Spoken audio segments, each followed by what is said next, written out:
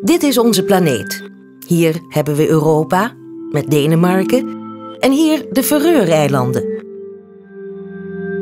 Een autonoom gebied binnen het Deens Koninkrijk. Dat wel onder Deens toezicht valt waar het gaat om politie, rechtspraak, defensie en buitenlandse zaken. En toch wordt op deze eilanden de Europese wetgeving overtreden. En dat komt doordat de traditionele grind er nog steeds plaatsvindt. Tijdens de grind worden hele groepen kleine walvisachtige en dolfijnen het strand opgesleurd en afgeslacht.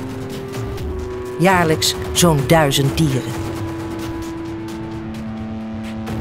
Het gevolg is dat de populatie met 30% kan afnemen binnen drie generaties.